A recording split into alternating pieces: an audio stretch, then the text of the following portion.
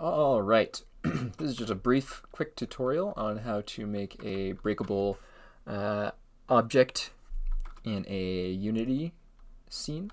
Uh, you can use this for, uh, we use this specifically for our Quest VR game, although this can be used for any sort of uh, Unity project. So I have here uh, the breakable pot uh, asset that's just available in the Unity asset store for free.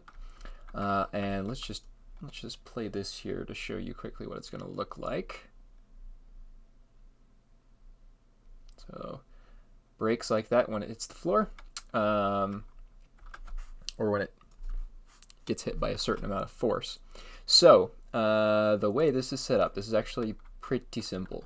So this here is our uh, regular vase uh, asset right here uh, that I've just set up here so that it falls in a slightly more interesting way.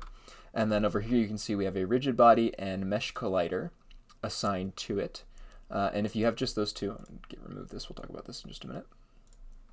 Uh, if you have those two set up as well as a floor here that has a mesh collider, uh, it will just fall there on the floor.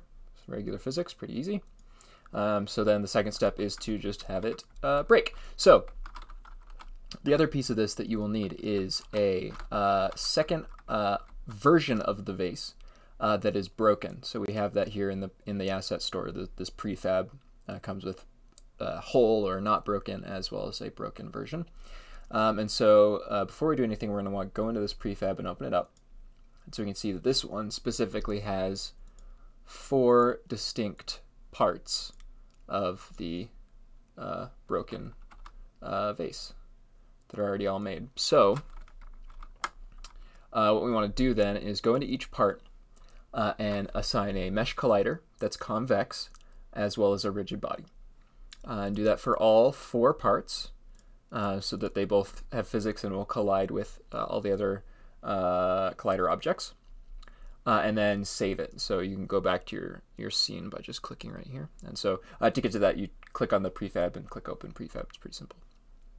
So once you have that prefab all set up, the last thing to do, uh, this is the last step, is we're going to put a script on this object here that says when this object uh, hits something with a certain amount of force, a certain amount of velocity, delete this whole object and replace it with this broken uh, object, which is this the broken version of that same same object that we set up. So uh, I already have uh, the the script here, so let's look at it.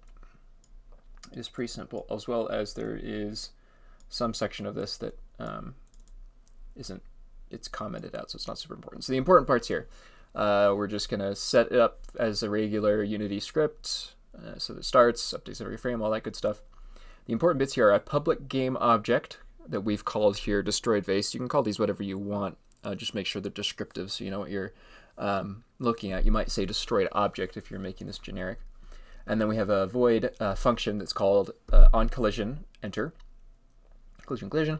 Uh, and then this port right here is commented out, so it's going to start here. If the collision's relative velocity, uh, the magnitude of that is greater than 3, and this is the thing that you can uh, edit if you would like it to be more force, uh, a different type of force, this is where that can be edited.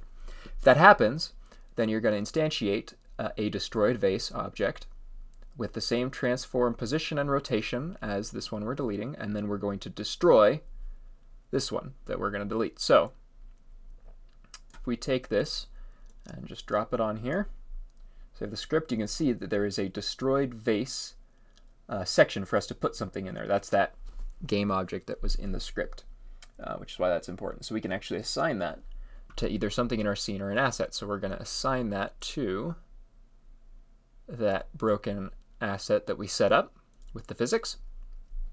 So now uh, that script, the game object destroyed vase is already set to that broken vase we had. So when it hits the floor, it's going to replace basically this whole vase with the broken one. So let's see if that works here. There you go. And it just drops in the vase here. Although you may have noticed one thing, the vase kind of rotates very suddenly.